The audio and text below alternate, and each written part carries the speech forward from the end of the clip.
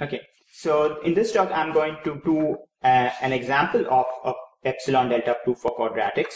What we have on this sheet is basically the generic proof for arbitrary quadratic at an arbitrary point. And now what I want to do is instead of using this, I'm just going to sort of illustrate how this would work with actual numerical values of a, b, c, and p. So here's what I want to prove. Limit as x approaches 2, 3x squared plus 4x plus 5 is 25. Okay. So what in my setup, what are a, b, c, and p? Hmm? A is 3, B is 4, C is 5, Hmm. and P is 2. Okay, good. So, what should the strategy be? Uh, like, how would you prove that this is true? You would have to exhibit a winning strategy and then show something, right? So, what's the strategy we we will exhibit? Hmm? Uh, we will have to show Like, what's what's the delta first?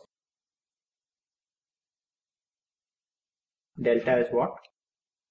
delta is epsilon, the less of 1, Minimum of one and epsilon over. Yeah. Do you write it explicitly or you just want one number?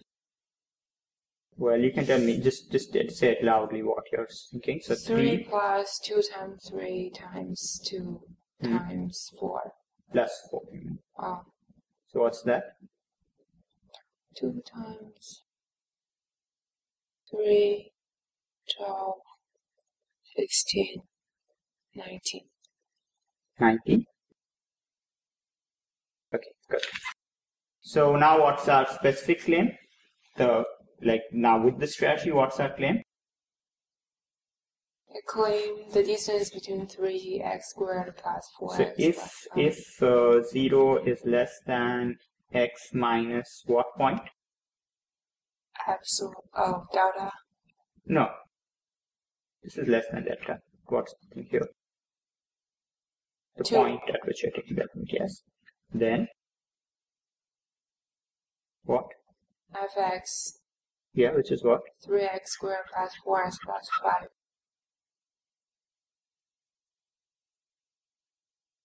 Minus plug in 2, I already told you what it should be. oh, yes, 25.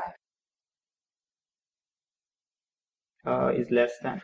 So, okay, so the proof. Well, we start off with this thing, 3x squared plus 4x plus 5 minus 25. And the hope is we'll just keep simplifying this till we get less than uh, epsilon. So what is this? This is 3x squared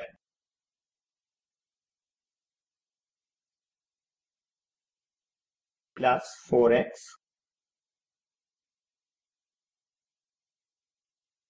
minus 20.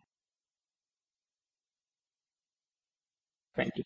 Okay, now if you look at the general proof, in, in some ways the general proof is easier, in some ways it's harder. The general proof is you wrote down this, you, you subtracted and you factored.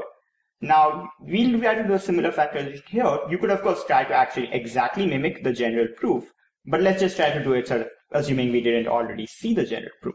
Well, the main thing you have to remember is that this thing will always come as one of the factors, x minus 2 will always be one of the factors okay? Because what we want is we want like x equals 2 should satisfy this right? So so that's what that's how you try to split the middle term. So so we want what the factorization be? x minus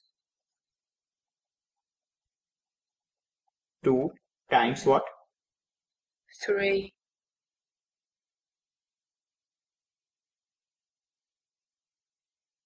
3x plus 8 Oh, 10. Great. Okay. Uh, now the 3x plus 10 you want to rewrite. How do you rewrite the 3x plus 10 part? You write it as 3 times x minus 2. Yeah, so this is the part we have, right? We have ax plus b plus b. You wrote as ax minus b plus 2ab plus b. That's what you do. So 3 times x minus 2 plus what? 16. Okay, good. Uh, now use the triangle inequality.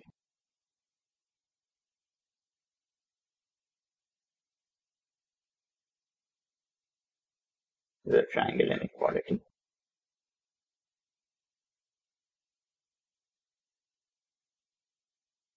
Okay. Now both of these are uh, positive numbers, so this is strictly less than what? Uh, this is I mean each I suppose it is positive. Each one and each of this one is less than delta. This one is less than delta. So you get delta three delta plus sixteen. Okay, and now what do you do? Delta is less than epsilon over 19. Epsilon over nineteen, The other one is less than 1. And the inner delta you use that it's less than one.